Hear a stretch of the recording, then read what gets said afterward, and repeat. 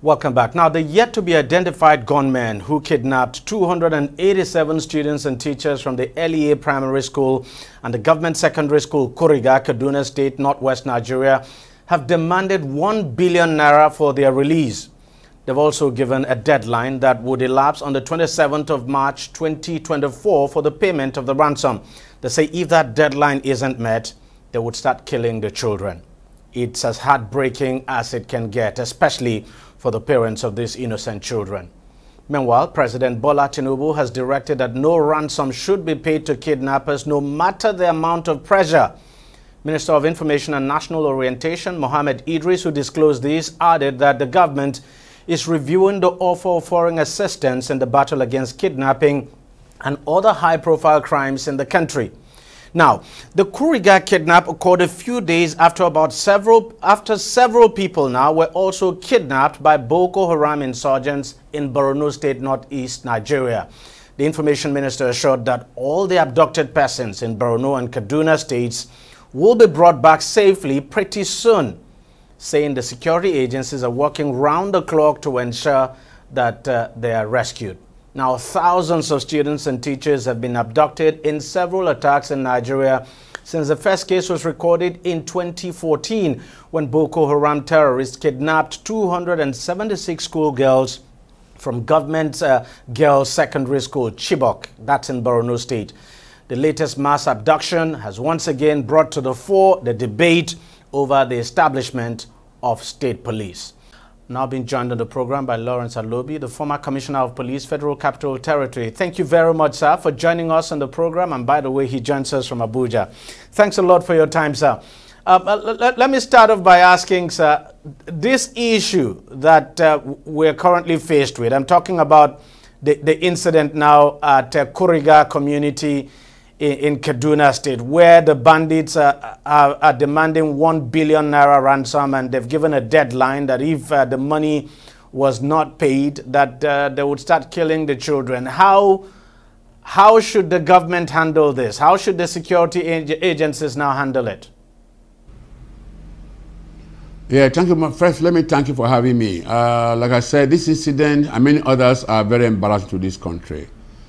It has shown that uh, we have not been able to live up to our expectation in line with Section 14b of the Constitution, which provides that security and the welfare of the citizen, of the citizen, of the citizen shall be the primary purpose of government.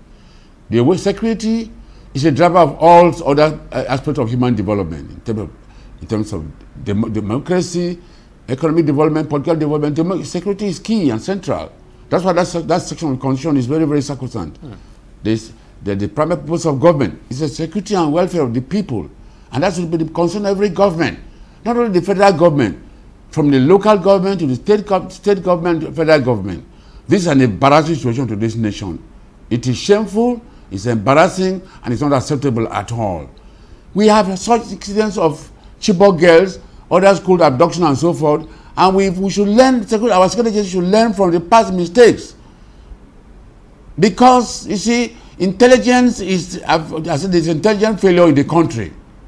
The DSS, the police, the military, also agencies have their intelligence agency.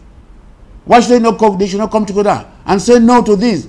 Before anything happens in any community, they should be able to get, get information and then follow, analyze that information and follow up and take, take action.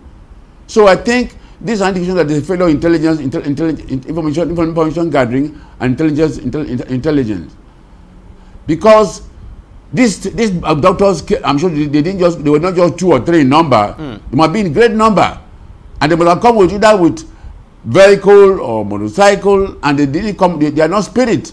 They must have passed through the route, through some roads, and those roads are accessible to the community. That's why to the country today, national orientation has also not not been living up to expectation.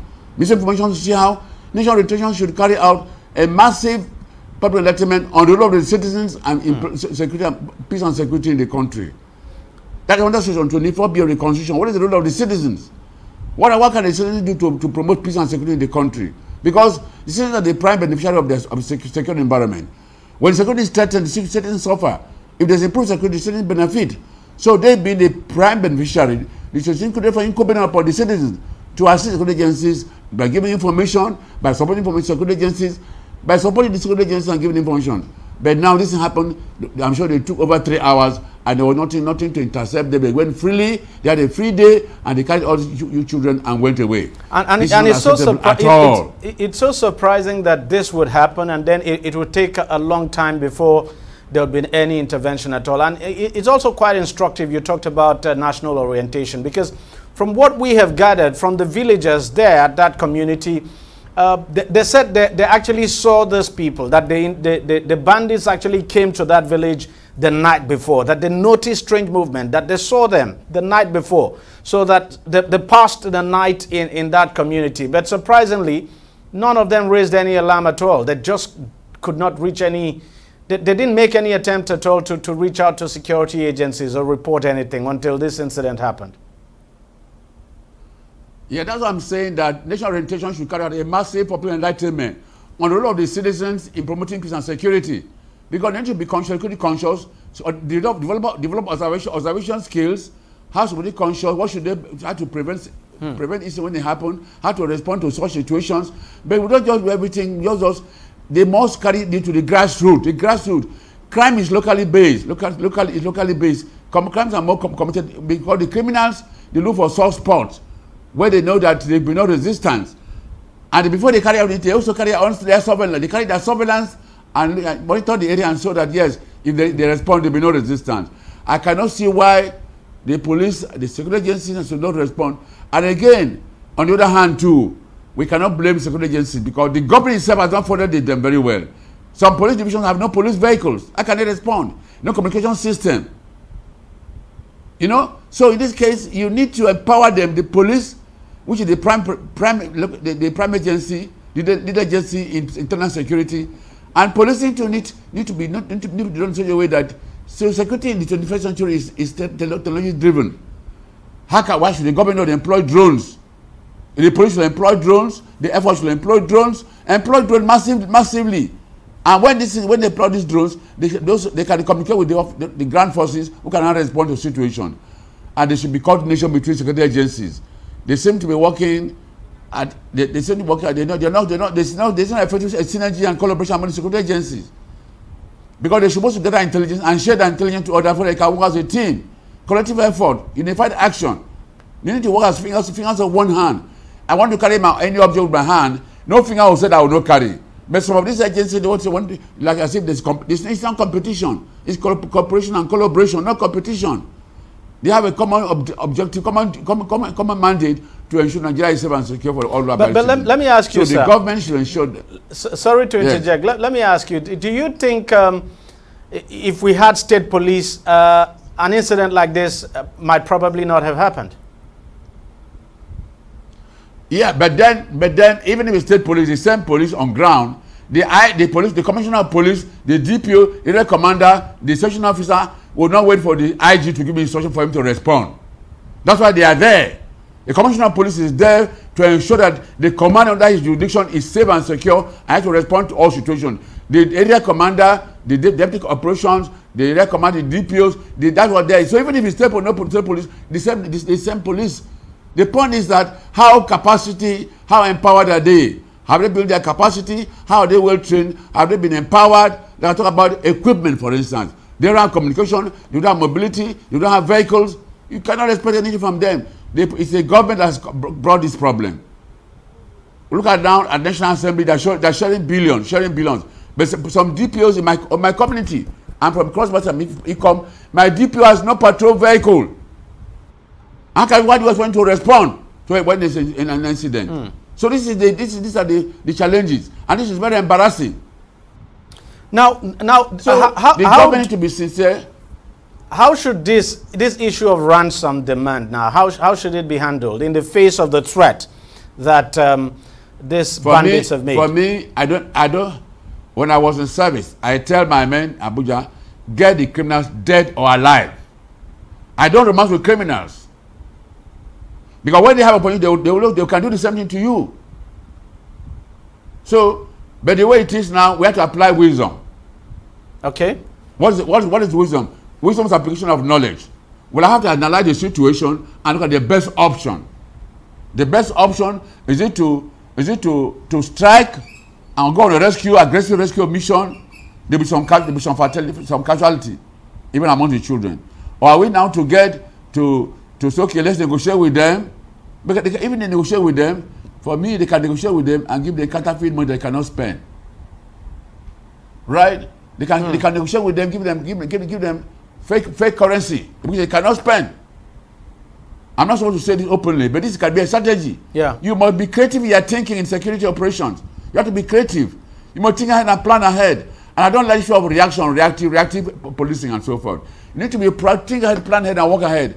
They really know the, the police and the security. They don't know some of these spots that they go to schools. What effort have they done? And then the government should make us a policy when you develop, when you establish schools or buildings or estate, you must you must mainstream security and integrate security in your planning.